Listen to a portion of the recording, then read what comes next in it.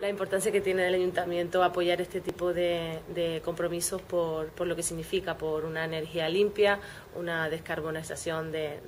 del entorno y por tanto nosotros entendemos que es un, un, buen momento y debemos hacerlo desde, las administraciones y por tanto entendemos que es muy importante y por ello hemos firmado el, este compromiso hoy.